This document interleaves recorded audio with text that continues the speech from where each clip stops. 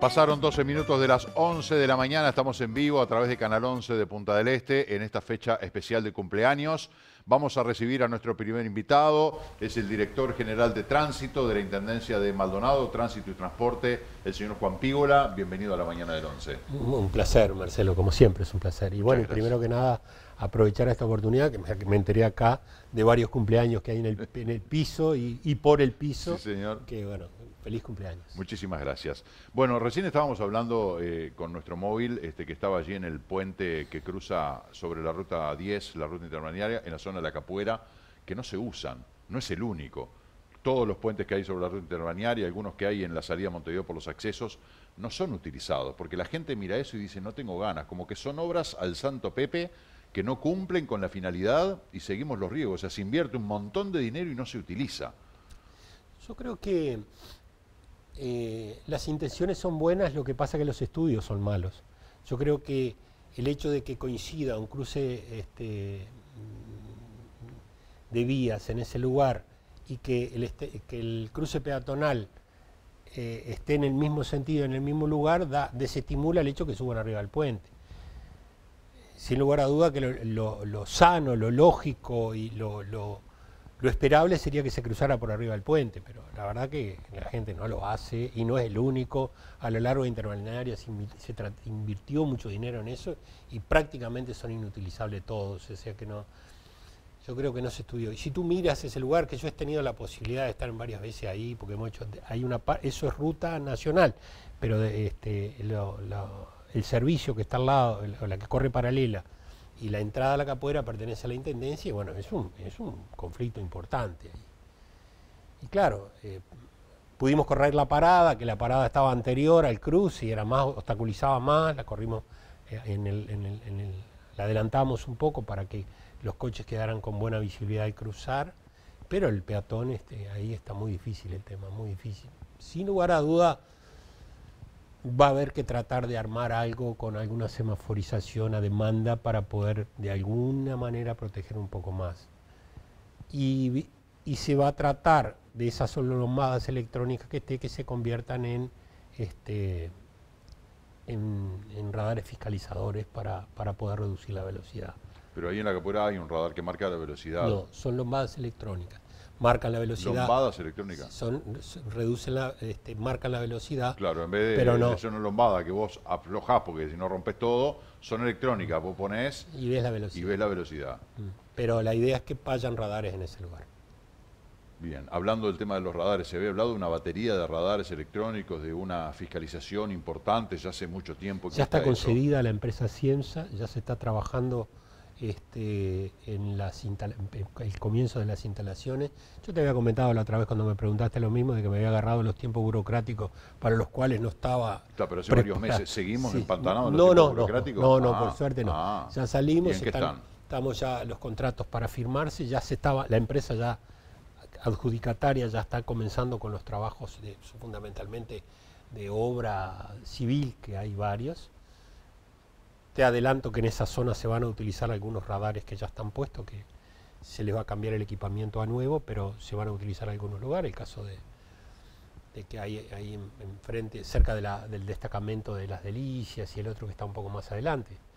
Este, vamos a aprovechar, están dos puntos que están marcados. ¿El destacamento de las delicias para 25 de la mansa? No, no, no. El destacamento de, la, de Solana. Ah, de Solana. Hay uno ahí. Está por las delicias en la parada 24.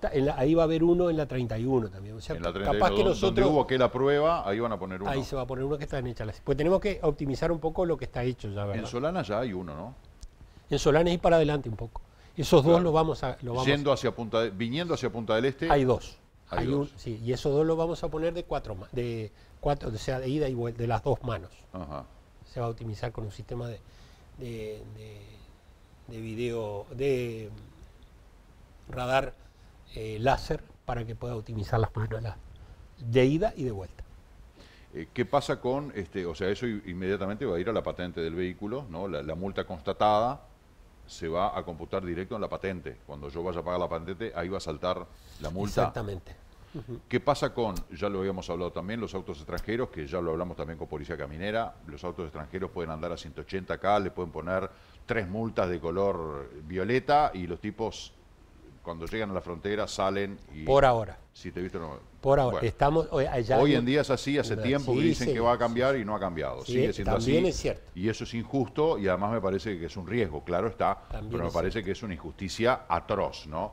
Pero ¿qué pasa con los extranjeros residentes? Porque hay extranjeros que están viviendo acá, que de repente andan con un auto con chapa de otro país. ¿Qué tiempos tienen? Qué, ¿Cuáles son las reglas que rigen para, esa gente? No solo en infracciones Tiene que nacionalizarlo, ¿verdad? Tiene que nacionalizarlo, de acuerdo a la ley de aduana. Hay este, una ventanilla única de comercio exterior, el BUCE, que está atendiendo las demandas. Hay varias demandas que se han hecho para tratar de nacionalizar los vehículos. Y si no, estarán, estarán infringiendo la ley de, de aduana. Para algunos van a ser descomisados. Ha empezado una campaña más seria con respecto a eso de los vehículos que están radicados en el Uruguay que tienen chapas argentinas. Y de hecho ha traído como consecuencia de que haya habido una saturación en la, ventanilla única de comercio exterior para tratar de lograrlos, pero que viene, viene caminando bien. De cualquier manera, sacándolo del país, ya sea en, cualquier frontera, este, los habilita nuevamente a estar rodando.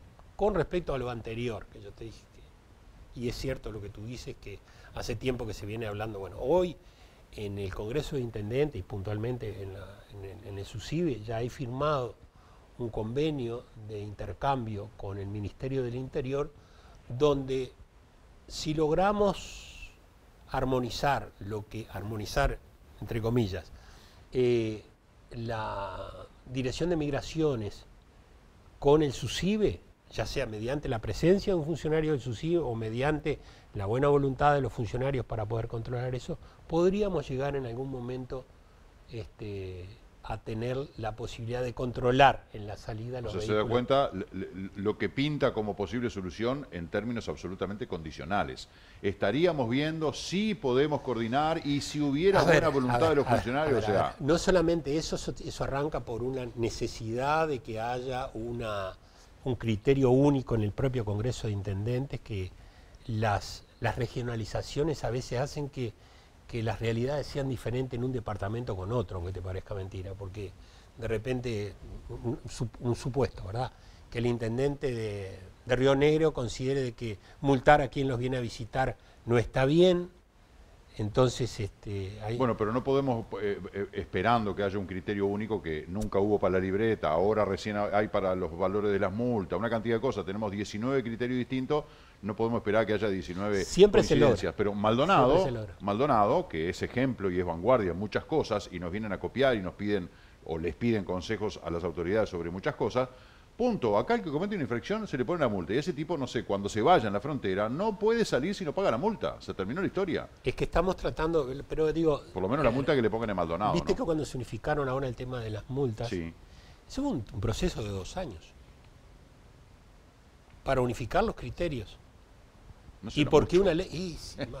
dos años para ponerse de acuerdo. Eh, quiero decirte que como consejero del Congreso de Intendentes, yo tengo, este, como asesor del Congreso de Intendentes, yo he vivido cada uno de todos esos dos años en forma, y sabiendo, empezamos con, con casi 13.000 artículos para las mismas multas, eh, 3.000 artículos para las mismas multas. Lo bajamos a 220 en el año 17 y recién ahora lo podemos, podemos ingresar en la Codiguera Nacional conjuntamente con el Ministerio de Cinco añitos, metieron ahí para solucionar esos cinco añitos y usted quiere que yo crea que rápidamente van a solucionar de que los extranjeros que cometen infracciones se van sin pagar no, quiero, yo no quiero que crea, quiero que no pierda la esperanza.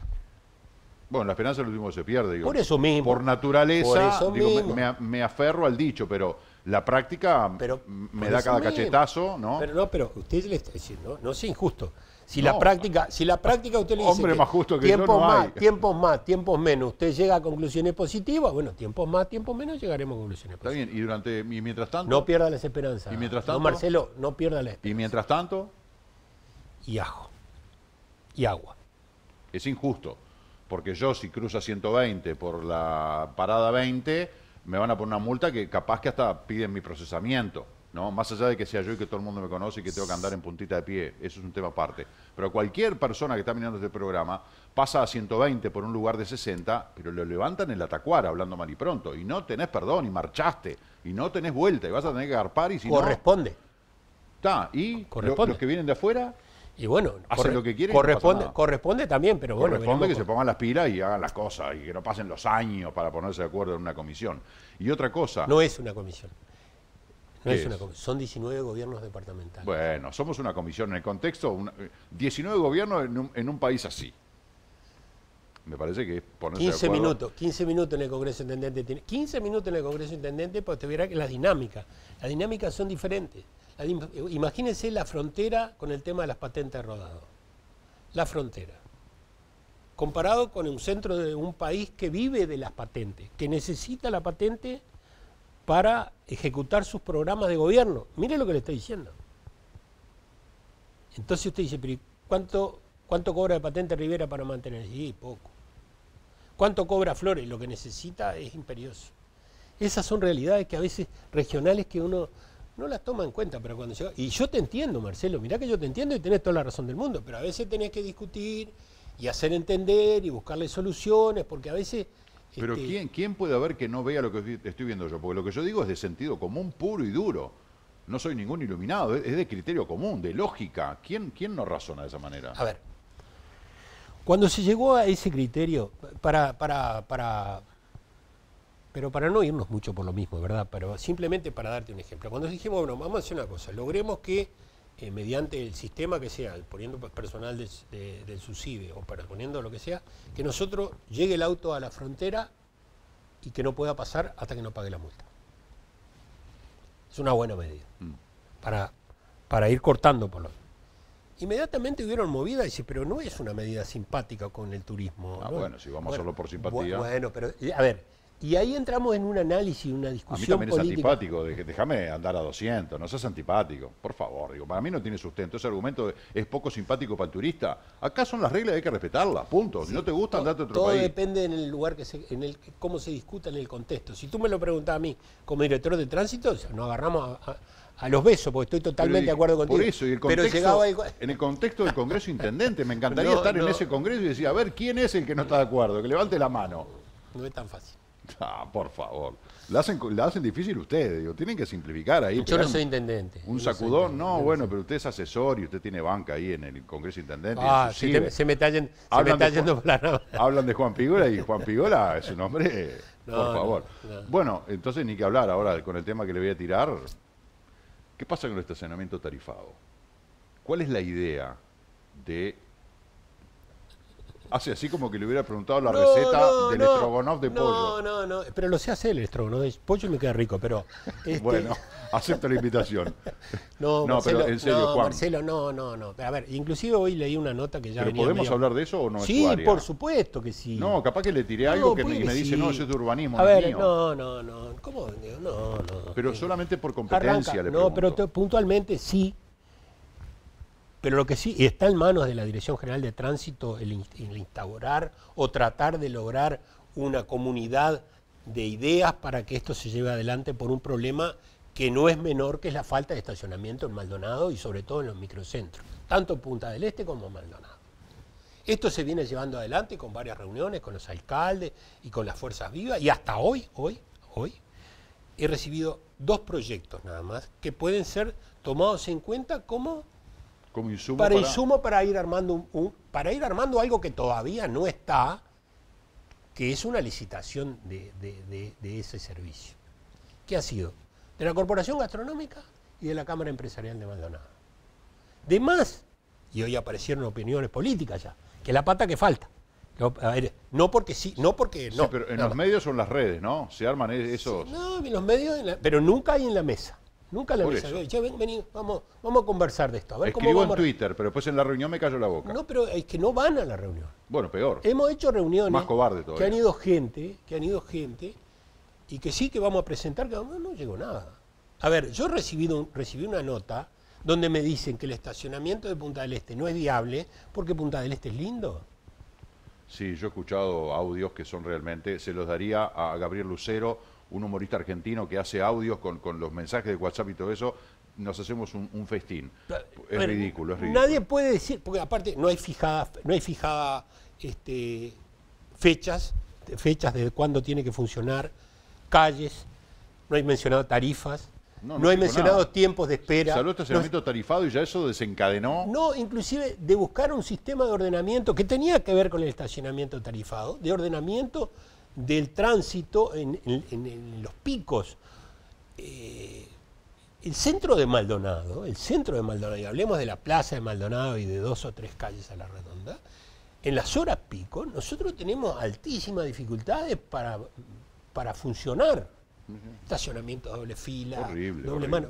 Y cuando tú planteas la necesidad de buscarle una solución, hay gente que asume la responsabilidad y dice, bueno, sí, habrá que generar espacios para descarga y descarga, habrá que... Eso es todo lo que se está planteando. Que los vecinos eh, puedan este, tener libre el tarifado. Hoy con los sistemas que hay electrónicos, tú puedes hacer por círculo, por horario, por tiempo. lo que no se puede permitir es que haya un auto estacionado 10 horas en el mismo lugar. Porque si alguien no se da cuenta que atenta contra la funcionalidad, no solamente del tránsito, sino hasta comercial de, de, Bueno, a eso le quería preguntar, porque yo he escuchado, porque hay versiones que no merecen ni siquiera prestarle atención y hay otras que merecen ser escuchadas porque justamente pueden ser un insumo que enriquezca una idea, un proyecto. Los comerciantes decían, pero si pone estacionamiento tarifado, la gente no va a venir al centro, me voy al shopping que tengo los mismos comercios, que puedo estacionar gratis, y se termina la historia. Entonces, no será una especie de boomerang de por ordenar el tránsito como objetivo central y también para darle dinámica al comerciante, no será un efecto contraproducente. el cliente ya no, al centro Maldonado que me van a pagar, me van a cobrar, me voy al shopping. Marcelo, Hablemos en sentido común. Tú conoces Maldonado igual que yo de los mismos años que hace que yo estoy acá. y nosotros hemos visto una depreciación del comercio en el centro de Maldonado importante. Y si tú me decís por qué, y yo te digo que es por el estacionamiento. Tú no tenés dónde parar. Tú cuando tú tenés que comprar algo. Es verdad, es verdad, a mí me pasa. Cuando tenés que comprar. pero yo no me da una vuelta yo paro cuatro cuadras y camino. Está, bien, no pero ¿quién tiene esa costumbre? Yo busco. Si por encuentro, y si no encuentro, me alejo hasta que encuentre. De mí, de mí, hay gente que se enojó cuando yo decía que los empresarios y los empleados querían dejar parados los, vehículos enfrente a los comercios. Se enojaron. Pero que nosotros teníamos cuantificado que habían 160 plazas de, de 400 que estaban ocupadas por... por y que estaban, o dueños de comercio. Pero que este la tenemos anotados con papeles. Pero nosotros no, salimos ni a multar, ni nada. Ni, simplemente... pero, Nada, pero lo que te quiero decir es que cuando se empezó este estudio, se pensó a partir de una premisa, es necesario tener más estacionamientos en Maldonado, desestimular el estacionamiento prolongado en los lugares de concentración. ¿Por qué si es buen negocio hacer torres de 20 millones, 30, 50, 80 millones de dólares, no es negocio construir un estacionamiento? Porque nadie lo ha pensado. Pero no, no, pero acuérdate que en poco Hay algunos predios grandes que fueron estacionamiento y cerraron. Bueno, la Intendencia tiene algunas ideas con respecto a eso, para tratar de lo... Porque hay un problema, Marcelo. Tú, y volvemos al, análisis, análisis comercial. Tú tenés que comprar algo. Eh, yo tengo 69 años, tengo algunas dificultades de movilidad de repente, o, no, pero no quiero caminar mucho. Y voy, doy una vuelta por el centro de Maldonado porque soy localista y no encuentro dónde estacionar. ¿Para dónde voy? Para un lugar donde tenga estacionamiento. ¿Dónde hay estacionamiento? En los shopping. ¿Qué acabo de decir? Bueno, eso es lo que te digo. Entonces, hoy por hoy, hoy por hoy, desde la gestión de la Intendencia y hablando sobre un, plan de, valoración del, microcentro de Maldonado de Punta del Este, se trata de desestimular el estacionamiento prolongado, para que haya rotación, para que haya rotación, para que Maldonado vuelva a tener, como tuvo en su momento, es comercio, este, restaurantes en el centro y todas esas cosas, que se fueron perdiendo. ¿Por qué se fueron perdiendo? Porque no de estacionar. Tú hoy por hoy... Sí, esa es una de las razones. No, Pero vamos a decir que ahora si ponen estacionamiento, ahora van a abrir todos los restaurantes. No, no, no, Marcelo, no, Marcelo, no, Marcelo. A ver, si hablamos, hablamos a, a, a calzón quitado. Yo creo que desde el momento que se autoriza la instalación de un comercio, ese comercio tendría que tener lugares para estacionar. Bueno, pero es un concepto que se empezó a manejar hoy en día. Sí, sí, Porque hace 20 años no existía esa razón, ni siquiera razonable. El tema, el tema del estacionamiento. en el mundo, en el mundo el estacionamiento fue un problema. Hay, eh, a ver, muchas ciudades que ya hoy por hoy eh, no te dejan estacionar en los centros históricos. No puedes estacionar en los centros históricos. Patita contigo si quieres conocer. Y lo que tú decías hace un rato, si tenemos que estacionar a cuatro cuadras, estacionemos cuatro cuadras, pero no desde el concepto general cuando alguien te Pero es que escribe... eso está práctico. ¿Cuánto tiempo perdés dando vuelta en el centro buscando lugar en la puerta y justo me lo garreñó este y justo me miras por el espejo y justo quedó uno libre pero no puedo ir para atrás porque me llevan? No, muchas veces estacionan en el lugar para discapacitados que está caliente, libre. claro, y cuando te multan decís, no, pero si fue un momento que yo paré, sí, ¿entendés? sí, bueno, pero lugar de discapacitados para discapacitados. Bueno, pero, a ver, Sí, sí. eso está pasando. Sí, sí. Eso está pasando. El cordón rojo El y en rojo. donde dice no estacionar porque es una entrada de una casa o un comercio o que hay un cartel que dice reservado de tal hora a tal hora. O sea, hay una cantidad de normas que no las cumplimos y por eso tenemos el tránsito que tenemos que es un desastre, horrible. Pígola, este, yo quiero optimizar el tiempo y en cada tema me apasiono porque me encanta discutir con usted, este, porque, en fin, porque Yo no encanta- estoy discutiendo con ustedes. Bueno, discutir en el buen sentido. Ah, no, Uno asocia, uno no quiero, no quiero cortar una relación de tantos años por una, por un sé, auto, no, por un auto. No, ni loco, ni loco. Además, menos hasta que coma el estrogonoff, por lo menos no. Pero realmente hay muchos temas importantes y uno de los que más se habla es que ahora está lleno de inspectores en tándem en el centro de Maldonado. Por suerte. Que están controlando, sí, claro, bienvenida la cantidad de inspectores. Tantas veces hemos hablado de la falta de recursos humanos que le hacía falta a su dirección, vaya la reiteración, la redundancia, pero muchos dicen, ¿para qué tantos haciendo qué? Porque obviamente controlan no estacionando doble fila, eh, o sea, tratan de ordenar un poco el tránsito en el centro, en el casco urbano, que es lo más crítico, lo más caótico. Pero algunos dicen, bueno, son muchos inspectores solamente para el centro Maldonado. No, no, Te alejas un poco y ya no, no, hay. y lo otro es la utilidad real, porque además, que también vamos a hablar de los- las agresiones que han sufrido algunos inspectores de tránsito, ¿no? Pero ¿cuál es el objetivo de estos, estas varias decenas de inspectores que, que ingresaron? ¿Qué, qué tareas Hoy, se les hoy van por a hoy, por hoy ellos están haciendo sus primeras armas, no Claro. multan, simplemente están notificando. Sí. Se ha extendido el radio de acción, estamos desde de la calle 7, Camino los Gauchos, La Valleja, eh, todas las eh, aumentó, inclusive estamos en Punta del Este, La Rambla, hay, hay por muchos lugares. Por eso es que se ven muchos. Ingresaron nuevos, están ¿Cuántos son? trabajando. ¿Como 140? No, no, los nuevos que entregaron entraron 120 para toda la intendencia. Para acá, para Maldonado, entraron 64. Bien. Para acá, Parecen para- más. ¿Eh? Parecen más, Por pues suerte se ven mucho. más, porque caminan mucho. Exacto. Caminan exacto. mucho. Ahora, Cada uno tiene un- todos los días una orden de servicio donde tiene que cumplir durante tantas horas el recorrido de tantas calles y eso está marcado dentro de un radio de trabajo que, aunque te parezca mentira, Marcelo, eh, recién, después de casi siete años, estoy pudiendo darle una estructura de, de vigilancia y de, y de- y de información a Maldonado que no la, no la había podido tener. Ahora, por suerte, la tengo. Se ha ordenado. La presencia es disuasiva, la presencia del inspector es, disuasiva. Y bueno, tratamos de que las cosas mejoren en ese aspecto. el cometido de ellos hoy es estar tratando de ordenar y eso, pero Disuadir presencia. no están multando. No, no, no, no para nada. Los ¿Se les, va, ¿Se les va a adjudicar alguna otra función, alguna otra potestad a esos inspectores? La tienen, son de control, de vigilancia, de, de- de- ellos pueden llamar por radio, están todos equipados, pueden llamar en caso que necesiten asesoramiento de un supervisor o un caso especial de, de- de- de- de- de acción que necesite que haya aplicarse una multa, una falta de respeto hacia el inspector, una clave 6 que hace que venga un, un policía, digo, está todo más o menos. Ellos tienen lo mismo, lo único que nos están pudiendo multar hoy, están haciendo notificación Bueno, y la reiteración y la reiteración de la notificación amerita una multa que se la puede llegar a, a, este, efectivizar un inspector con, con grados. ¿Y de las agresiones qué, qué nos puede decir? Porque el otro día hubo una normal que le pegó con un casco a una inspectora, fue que la Sí, lastimó, bueno, hubo, es, hubo es incluso parte, medidas gremiales. es parte- bueno, eso es otro tema. Pero eh, el- el- lo de la agresión es parte del mundo que estamos viviendo. Hoy por hoy, el tránsito ese mismo está muy violento. ese mismo día, ese mismo día o al, al otro día agredieron a, a un chofer de un ómnibus. O sea, no, no. Estamos en un momento en que algunos, porque no es todo, algunas de las personas están entrando en una etapa de, de- de- de desquicio que hace que se vuelvan violentos.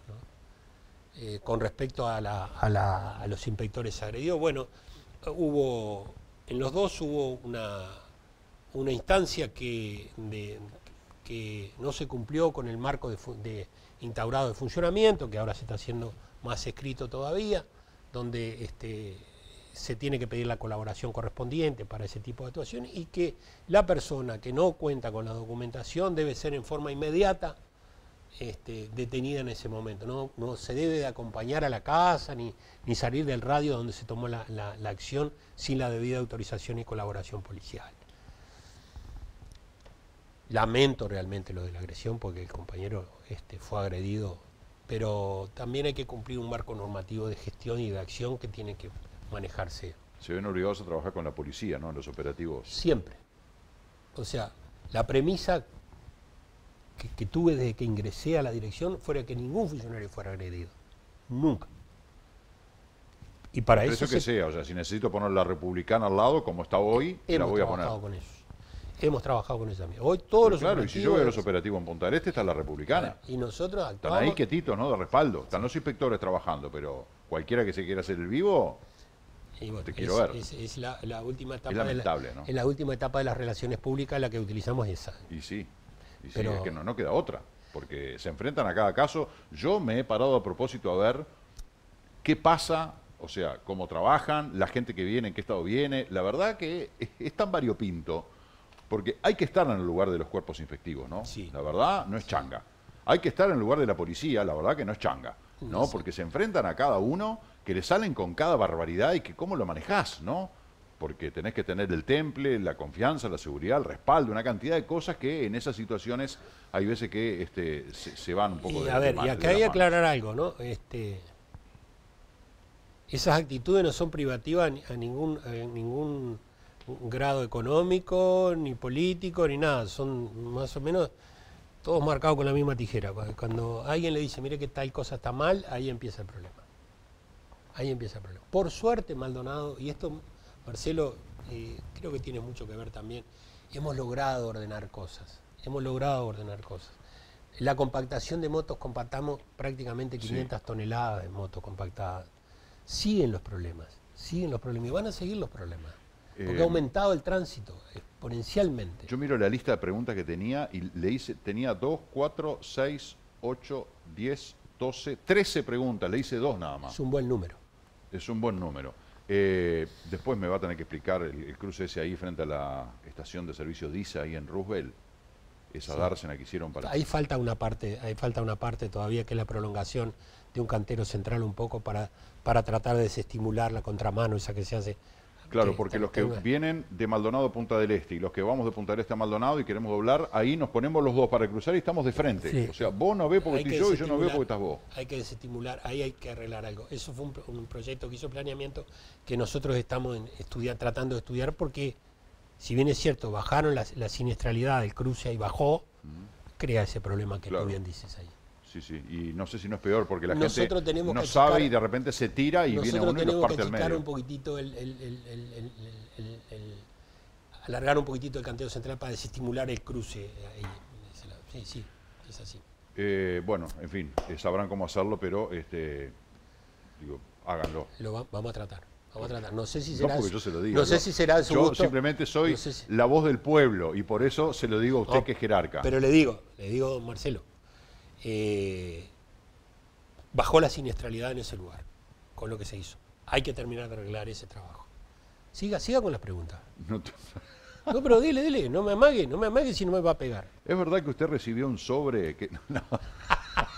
¿Quiere que siga? Bueno, ahora viene la más caliente. No, ¿no? no, no, no. Usted sabe, me conoce de chiquito. No se olvide que me conoce de chiquito. Juan, gracias por acompañarnos una vez más. Placer, Marcelo, de verdad. Muchas Como gracias. siempre es un gusto. Muchas gracias. Señoras y señores, con temas pendientes para una próxima oportunidad, despedimos al señor Juan Pigo, le hacemos la pausa a las 11 y 41. Ya volvemos.